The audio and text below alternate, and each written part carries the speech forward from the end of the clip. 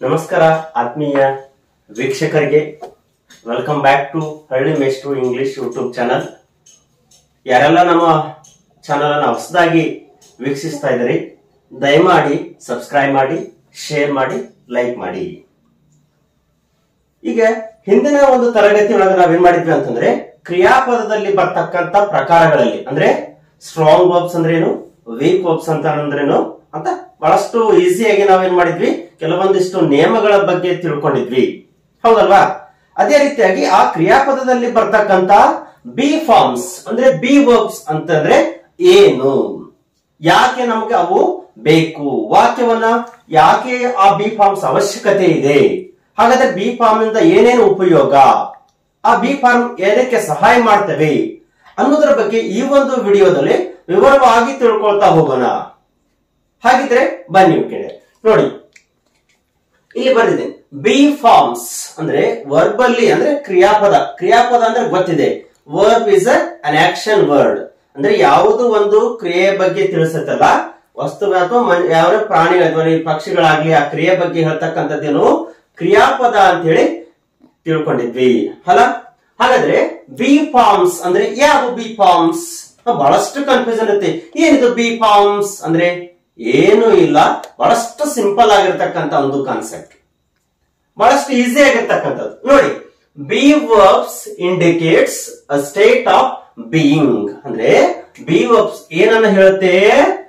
Indicates a state of being ಅಂದ್ರೆ ಅಸ್ತಿತ್ವವಿರುವ ಸ್ಥಿತಿಯನ್ನ ತಿಳಿಸುತ್ತದೆ. ಅಂದ್ರೆ ನಾವೇನು? ನಮ್ಮ ಹತ್ರ ಏನಿದೆ? ನಾವೇನೇ ಆಗಿದ್ದೇವೆ ಏನು ಇದ್ದೇವೆ?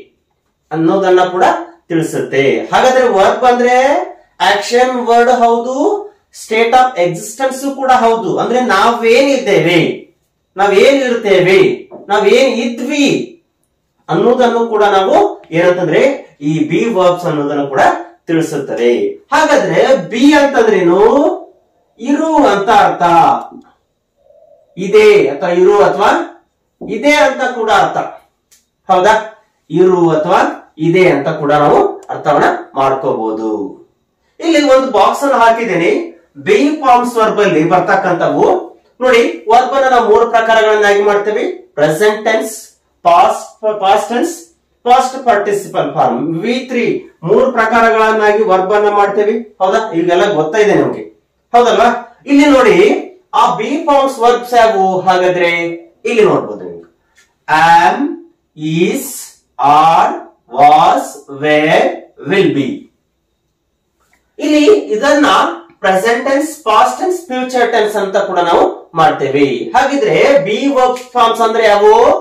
Am is are was were will be ಹೌದಲ್ವಾ?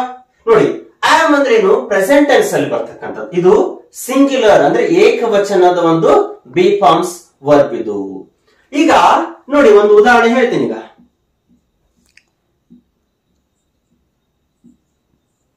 ಐ ಆಮ್ ಅ ಡಾಕ್ಟರ್ ಅಂದ್ರೆ ಇಲ್ಲಿ ಕ್ರಿಯಾಪದ ಇಲ್ಲ. ಇಲ್ಲಿ ಯಾವುದೇ ಆಕ್ಷನ್ ವರ್ಡ್ ಇಲ್ಲ. ಆಕ್ಷನ್ ವರ್ಡ್ ಇಲ್ಲ ಅಂದ್ರೂ ಕೂಡ ಇಲ್ಲಿ ನೋಡಿ ಆಮ್ ಇದೆ ಅಲ್ಲ. ಇದು ವರ್ಬ್ ಆಗಿ ಒಂದು ಕೆಲಸವನ್ನ ಮಾಡುತ್ತೆ. ಅಂದ್ರೆ ಕ್ರಿಯಾಪದವನ್ನಾಗಿ ಕೆಲಸವನ್ನ ಮಾಡ್ತೈತಿ ಇಲ್ಲಿಗೆ. ಹೌದಾ? ಹಾಗಾದ್ರೆ ಇಲ್ಲಿ ವರ್ಬ್ ಇಲ್ಲ ಅಂದ್ರೆ ಏನು? ಆಮ್ ಕೂಡ ಇಲ್ಲಿ ಏನಾಗುತ್ತೆ? ಕ್ರಿಯಾಪದ ಆಗಿ ಒಂದು ಪರಿಗಣೆ ಆಗುತ್ತೆ. ಹೌದಲ್ವಾ? ಹಾಗಾದ್ರೆ ಇವೆಲ್ಲ ಏನು? ಇವು ಕೂಡ ಒಂದು ಒಂದು ಕ್ರಿಯಾಪದಗಳು. ಕ್ರಿಯಾಪದ ಇಲ್ಲದೆ ಇರತಕ್ಕಂತ ಸಂದರ್ಭದಲ್ಲಿ ನಾವು ಇವುಗಳನ್ನ ಕ್ರಿಯಾಪದಗಳಾಗಿ ನಾವು ಉಪಯೋಗ ಮಾಡ್ತೇವೆ. ಇದೇ ನೋಡಿ ಈಗ. ಐ ಆಮ್ ಲರ್ನಿಂಗ್ ಇಲ್ಲಿ ನೋಡಿ. ಇಲ್ಲಿ ಲರ್ನಿಂಗ್ ಅನ್ನೋದು ವರ್ಬ್ ಹೌದಾ? ಇದೇನಿಲ್ಲಿ? ಇದು ಹೆಲ್ಪಿಂಗ್ ವರ್ಬ್ ಆಯ್ತು ಇಲ್ಲಿ. ಇಲ್ಲಿ ಮೇಲ್ಗಡೆ ಮೇನ್ ವರ್ಬ್ ಆಯ್ತು. ಅಂದ್ರೆ ಇದೇ ಕ್ರಿಯಾಪದ ಆಯ್ತು. ಇಲ್ಲಿ ಈ ಒಂದು ಕ್ರಿಯಾಪದಕ್ಕೆ ಸಹಾಯ ಮಾಡ್ತಕ್ಕಂತ ಹೆಲ್ಪಿಂಗ್ ವರ್ಬ್ ಆಯ್ತು. ಕೆಲವೊಂದು ಸಾರಿ ಏನಾಗುತ್ತೆ? ಈ ಬಿ ಫಾರ್ಮ್ಸ್ ಮೇನ್ ವರ್ಬ್ ಆಗಿ ನಾವೇನ್ ಮಾಡ್ತೇವೆ? ಕೆಲಸವನ್ನ ಮಾಡ್ತೇವೆ. ಇನ್ನು ಕೆಲವೊಂದು ಸಂದರ್ಭದೊಳಗ ಆ ಕ್ರಿಯಾಪದಗಳಿಗೆ ಸಹಾಯಕವಾಗ್ತಕ್ಕಂತ ಒಂದು ಕ್ರಿಯಾಪದಗಳಾಗಿ ಸಹಾಯ ಮಾಡ್ತವೆ. ಹಾಗಿದ್ರೆ ನೋಡೋಣ ಈಗ. ಸಿಂಗ್ಯುಲರ್ ಅಲ್ಲಿ ಪ್ರೆಸೆಂಟೆನ್ಸ್ ಅಲ್ಲಿ ಆಮ್ ಈಸ್ ಆರ್ ಆರ್ ಅನ್ನೋದೇನಿಲ್ಲಿ? ಪ್ಲೂರಲ್ ಬಹುವಚನದ ಒಂದು ರೂಪ ಕ್ರಿಯಾಪದ, ಯಾವುದು?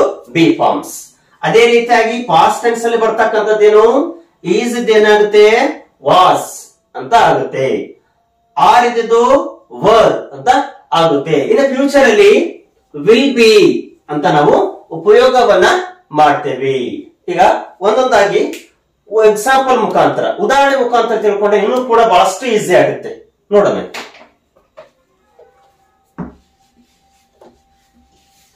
ಈಗ ಆಲ್ರೆಡಿ ನೀವು ಪ್ರೊನೌನ್ ಬಗ್ಗೆ ತಿಳ್ಕೊಂಡಿದ್ದೀರಿ.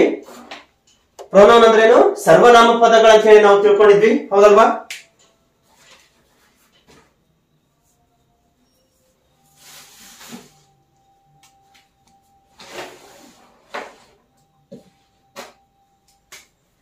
ಇಲ್ಲಿ ನೋಡಿ, ಬರಿತೀನಿ. ಒಂದೊಂದಾಗಿ ಬರಿತೀನಿ. Are we you he she, it. ಇವೆಲ್ಲವೂ ಏನಂತಂದ್ರೆ ಪ್ರೊನೌನ್ಸ್ ಅಂದ್ರೆ ಸರ್ವನಾಮ ಪದಗಳು ಈಗ ಇಲ್ಲಿ ಏನ್ ಮಾಡೋಣ ಈಗ? ಸರ್ವನಾಮ ಪದಗಳ ಮುಂದೆ ನಾವೇನ್ ಮಾಡ್ಬೇಕು ಈಗ? ಬಿ ಫಾರ್ಮ್ ಅನ್ನು ಯೂಸ್ ಮಾಡ್ಬೇಕು. ಈಗ ಐ ಬಂದ್ರೆ ಸಿಂಗಲ್ ಇರಿದಾಗ ಏನಾಗುತ್ತೆ? ಪ್ರೆಸೆಂಟ್ ಟೆನ್ಸ್ ಅಲ್ಲಿ ಐ ಎಂ ಅಂತ ಆಗುತ್ತೆ. ಹೌದಾ? ಈಗ ವಿ ಇದೆ. ವಿ ಏನು ಬರುತ್ತೆ? ವಿ ಆರ್ ಅಂದ್ರೆ ಸಿಂಪಲ್ ಪ್ರೆಸೆಂಟ್ ಟೆನ್ಸ್ ಬಗ್ಗೆ ಮಾತ್ರ ಹೇಳ್ತಾ ಇದ್ದೇನೆ ನಾನು. You are he is he ಬಂದ್ರೆ ಏನ್ ಬರುತ್ತೆ? ಈಸ್ ಬರುತ್ತೆ. ಇಲ್ಲಿ ಒಂದು ಚಾರ್ಟ್ ಅನ್ನು ಹಾಕಿಬಿಡ್ತೀನಿ ಇನ್ನೊಂದ್ಸರಿ. I am we are he she it is ಅಂತ ನಾವು ಉಪಯೋಗ ಮಾಡ್ತೀವಿ. ಇದು ಪ್ರೆಸೆಂಟ್ ಟೆನ್ಸ್ ಅಲ್ಲಿ. ಪಾಸ್ಟ್ ಟೆನ್ಸ್ ಅಲ್ಲಿ ಐ ಆಡ್ ಬಿಕಮ್ ಏನಾಗುತ್ತೆ? ವಾಸ್ ವಿ ಯು ಇವೆಲ್ಲವಕ್ಕೂ ಏನು ಬರುತ್ತೆ? ವರ್ ಅಂತ ನಾವು ಕೂಡ ಉಪಯೋಗ ಮಾಡ್ತೇವೆ. ಅದೇ ರೀತಿಯಾಗಿ ಹಿ ಶಿ ಇಟ್ ಅಂದ್ರೆ ಇಲ್ಲಿ ವಾಸ್ ಬರುತ್ತೆ. ನಾವೇನ್ ನೋಡೋಣ ಸಿಂಪಲ್ ಪ್ರೆಸೆಂಟ್ ಟೆನ್ಸ್ ಅಲ್ಲಿ ತಿಳ್ಕೊಳ್ಳೋಣ ಈಗ. Is it is they are ಈಗ ನೋಡಿ, ಇದು ಪ್ರನೌನ್ ಸಬ್ಜೆಕ್ಟ್ ಅಂತ ಹೇಳಿದ್ವಿ. ಇದನ್ನೇನ್ ಮಾಡಿದ್ವಿ? ಬಿ ಫಾರ್ಮ್ಸ್ ಅಂದ್ರೆ ಏನು? ಕ್ರಿಯಾಪದಗಳಾಗಿ ಹೋಗ್ತವೆ. ಈಗ ಒಂದು ಉದಾಹರಣೆ ತಗೊಳ್ಳೋಣ ಐ ಆಮ್ ಟೀಚರ್ ಅಂದ್ರೆ ಇಲ್ಲಿ ಏನ್ ಹೇಳ್ತೇವೆ ಅಂತಂದ್ರೆ, ನಾನು ಶಿಕ್ಷಕನ ಇದ್ದೇನೆ. ಅದೇ ಹೇಳ್ತೇನಲ್ಲ, ಇದ್ದೇನೆ. ಅಂದ್ರೆ ಏನು? ಇದ್ದೇನೆ ಅಂದ್ರೆ ಪ್ರೆಸೆಂಟೆನ್ಸ್ ಪ್ರೆಸೆಂಟ್ ಅಲ್ಲಿ ನಾನು ಇರುವೆ. ಅಥವಾ ಇದ್ದೇನೆ ಅಂತ ಅರ್ಥ ಇದು. ಐ ಆಮ್ ಟೀಚರ್ ಅಂದ್ರೆ ನಾನು ಶಿಕ್ಷಕನಿದ್ದೇನೆ ಕೂಡ ಅಂತ ಅರ್ಥ. We are teachers we are teacher ಶಿಕ್ಷಕರು ಇದ್ದೇವೆ. ಅಂದ್ರೆ ಈಗ ಸದ್ಯಕ್ಕೆ ಇದ್ದೇವೆ ನಾವು. ಹೌದಾ? ಯು ಆರ್ ಟೀಚರ್ ನೀನು ಶಿಕ್ಷಕ ಇದ್ದಿ. He she it is teacher ಅವಳು ಶಿಕ್ಷಕಳಿದ್ದಾಳೆ. ಅವಳು ಶಿಕ್ಷಕಳಿದ್ದಾಳೆ. ದೇ ಆರ್ ಟೀಚರ್ಸ್ ಹೌದಾ? ನೋಡಿ. ಹಾಗಿದ್ರೆ ಬಿ ಫಾರ್ಮ್ಸ್ ಅಂದ್ರೆ ಏನು ಇರುವೆ, ಇದ್ದೇನೆ ಅಂತ ಅರ್ಥ. ಹೌದಾ? ಇಲ್ಲಿ ಸಿಂಪಲ್ ಪ್ರೆಸೆಂಟ್ ಟೆನ್ಸ್ ಅಲ್ಲಿ ಪ್ರೆಸೆಂಟ್ ಟೆನ್ಸ್ ಏನ್ ಹೇಳ್ತೇವೆ ನಾವು? ಐ ಆಮ್ ಟೀಚರ್ ನಾನು ಶಿಕ್ಷಕನಿದ್ದೇನೆ, ಈಗಿದ್ದೇನೆ ಅಂತ ಅರ್ಥ. ವರ್ತಮಾನ ಕಾಲದಲ್ಲಿ. ವಿ ಆರ್ ಟೀಚರ್ಸ್ ಹೌದಲ್ವಾ? ನಾವು ಶಿಕ್ಷಕರಿದ್ದೇವೆ. ಯು ಆರ್ ಟೀಚರ್ ನೀನು ಶಿಕ್ಷಕ ಇದ್ದಿ ಅಂತ ಅರ್ಥ ಹೇಳಿ. ಹಿ ಈಸ್ ಟೀಚರ್ ಅವನು ಶಿಕ್ಷಕನಿದ್ದಾನೆ. ಇದ್ದಾನೆ ಅಂದ್ರೇನು? ಹೇಳ್ದೆ, ಸ್ಥಿತಿಯನ್ನ ತಿಳಿಸುತ್ತದೆ ಅಸ್ತಿತ್ವ ನಮ್ಮ ನಾವೇನಿದ್ದೇವೆ ಈಗ? ಶಿಕ್ಷಕರಿದ್ದೇವೆ. ಹಾಗೆ ಇರುವುದು ಅನ್ನೋದೇನು? ಇರು ಅಂದ್ರೇನು? ಈ ಬಿ ಫಾರ್ಮ್ಸ್ ಅರ್ಥ ಏನು? ಇರು ಅಂತ ಅರ್ಥ. ಇದ್ದೇವೆ ಅಂತ ಅರ್ಥ. ಇದೆ ಅಂತ ಕೂಡ ಅರ್ಥ. ಹೌದಾ? ಶೀಸ್ ಟೀಚರ್ ಅವಳು ಶಿಕ್ಷಕಳಿದ್ದಾಳೆ. ಅಂದ್ರೆ ಈಗ ಸದ್ಯಕ್ಕೆ ಇದ್ದಾಳೆ. ಇದ್ದಾಳೆ ಅನ್ನೋದೇನು ಇಲ್ಲಿ ಇದು ಕೂಡ ಒಂದು ಮುಖ್ಯವಾಗಿರ್ತಕ್ಕಂಥ ಕ್ರಿಯಾಪದ ಆಗುತ್ತೆ. ದೇ ಆರ್ ಟೀಚರ್ಸ್ ಅವರು ಶಿಕ್ಷಕರಿದ್ದಾರೆ. ಹೌದಲ್ವಾ? ಇದನ್ನ ನೋಡಿ. ನೆಗೆಟಿವ್ ಅನ್ನು ಹೇಗ್ ಮಾಡೋದೀಗ ಏನ್ ಮಾಡ್ಬೇಕು? ಸೇಮ್ ಪ್ರೊನೌನ್ ಅನ್ನು ಹತ್ಬೇಕು I am not a teacher I am not a teacher ನಾನು ಶಿಕ್ಷಕನಿಲ್ಲ. ಇಲ್ಲಿ ಏನ್ ಹೇಳಿದ್ವಿ? ನಾನು ಶಿಕ್ಷಕನಿದ್ದೇನೆ ಅಂತ ಹೇಳಿದ್ವಿ. ಇದೇನೆ? ಅಂದ್ರೇನು? ಈಗಿದ್ದೇನೆ I am not a teacher ನಾನು ಶಿಕ್ಷಕನಿಲ್ಲ. ವಿ ಆರ್ ನಾಟ್ ಟೀಚರ್ಸ್ ನಾವು ಶಿಕ್ಷಕರಲ್ಲ ಅಂತ ಅರ್ಥ. You are teacher you are not teacher ಇನ್ನು ಶಿಕ್ಷಕನಲ್ಲ ಅಂತ ಅರ್ಥ. He is not a teacher ಅವನು ಶಿಕ್ಷಕನಲ್ಲ. ಇಲ್ಲೇನ್ ಹೇಳಿದ್ವಿ? ಅವನು ಶಿಕ್ಷಕನಿದ್ದಾನೆ. ಇದ್ದಾನೆ ಅಂತ ಅರ್ಥ. She is not a teacher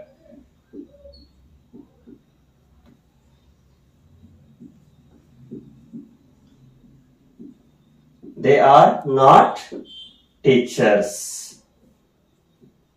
ಅವರು ಶಿಕ್ಷಕರಿಲ್ಲ ಅಂತ ಅರ್ಥ. ಇದು ಐ ಎಂ ಎ ಟೀಚರ್ ಅಂದ್ರೆ ನಾನು ಶಿಕ್ಷಕನಿದ್ದೇನೆ, ಇದ್ದೇನೆ ಅಂದ್ರೆ ಇರು, ಏನಿರು, ಶಿಕ್ಷಕನಿದ್ದೇನೆ ಅಂತ ಅರ್ಥ. ವರ್ತಮಾನ ಕಾಲದಲ್ಲಿ ಅಂದ್ರೆ ಈಗಿರ್ತಕ್ಕಂಥ ಸ್ಥಿತಿಯೊಳಗ ಹೇಳ್ತೇನೆ. ಅಸ್ತಿತ್ವ ಇರುವ ನಮ್ಮ ಅಸ್ತಿತ್ವ ಏನು? ಶಿಕ್ಷಕರ ಒಂದು ಅಸ್ತಿತ್ವ. ಅಂದ್ರೆ ಈಗ ಇದ್ದೇವೆ ಅಂತ ಅರ್ಥ.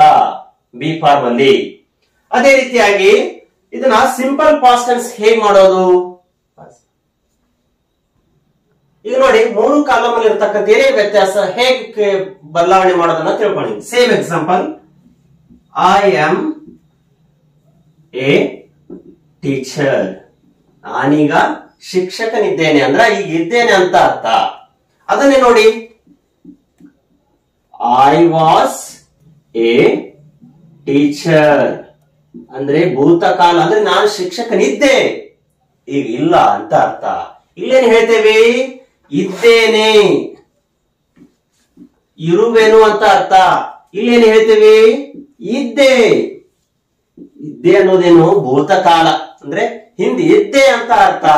ಇಲ್ಲಿ ಭವಿಷ್ಯತ್ ಕಾಲದಲ್ಲಿ I will be a teacher ಅಂದ್ರೆ ನಾನು ಇಲ್ಲೇನು ಹೇಳ್ತೇವೆ? ಇರುವೆ. ಇರುವೆ ಅಂದ್ರೇನು?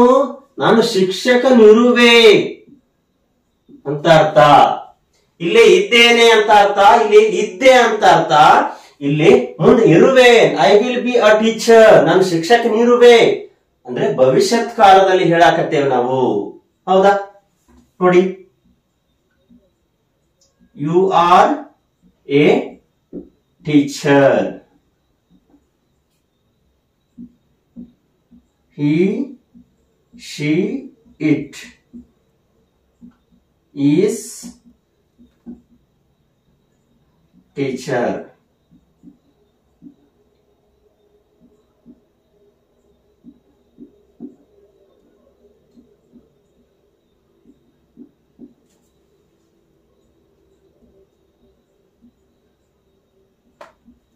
We are teachers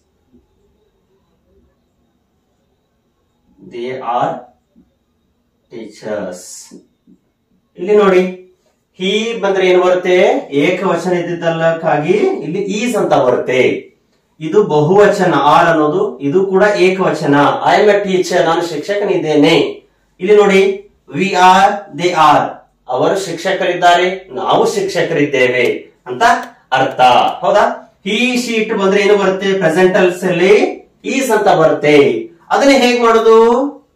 past tense ಅಲ್ಲಿ ಯುವರ್ ಟೀಚರ್ ನೀನು ಶಿಕ್ಷಕರಿದ್ರಿ, ಈಗ ಇಲ್ಲ ಅಂತ ಅರ್ಥ.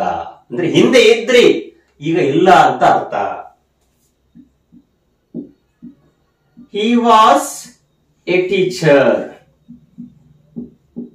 past tense ಅಂದ್ರೇನು? ಇದ್ದ. ಅಂದ್ರೆ ಹಿ ವಾಸ್ ಎ ಟೀಚರ್ ಅವನು ಶಿಕ್ಷಕನಿದ್ದ. ಹಿಂದೆ ಇದ್ದ ಅಂತ ಹೇಳ್ತೇವೆ. ಹೌದಲ್ವಾ? She was a teacher. ಹೌದಲ್ವಾ? ಅವಳ ಶಿಕ್ಷಕಳಿದ್ಲು. ಇಲ್ಲಿ ಏನು ಹೇಳಿದ್ವಿ? ಅವಳ ಶಿಕ್ಷಕಳಿದ್ದಾಳೆ ಇದ್ದಾಳೆ. ಅಂದ್ರೇನು? ವರ್ತಮಾನ ಕಾಲ. ಇದ್ದಳು. ಹಿಂದೆ ಇದ್ದಳು ಅನ್ನೋದೇನು? ಭೂತಕಾಲ. ವಿ ವರ್ ಟೀಚರ್ಸ್, ನಾವು ಶಿಕ್ಷಕರಿದ್ವಿ ಅಂತ ಅರ್ಥ, ಹಿಂದೆ ಇದ್ವಿ ಅಂತ ಅರ್ಥ. ದೇವರ್ ಟೀಚರ್ಸ್ ಅವರು ಶಿಕ್ಷಕರಿದ್ರು ಅಂದ್ರೆ ಏನು ಅರ್ಥ?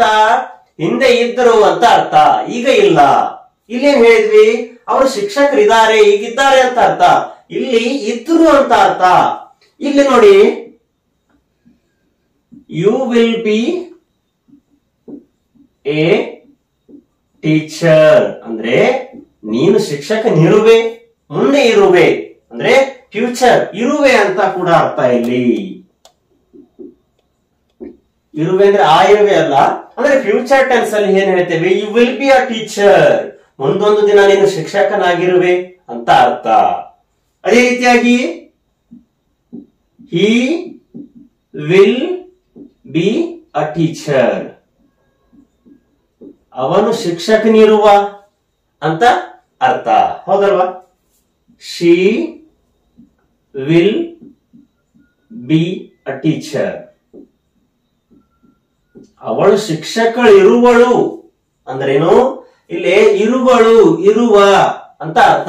ಅಂದ್ರೆ ಮುಂದೆ ಭವಿಷ್ಯತ್ ಕಾಲದಲ್ಲಿ in the future tense she may be a teacher she will be a teacher ಅದೇ ರೀತಿಯಾಗಿ we will be a we will be teachers ನಾವು ಶಿಕ್ಷಕರು ಇರುವ, ಇರುವೆ. ಹೌದಾ? They will be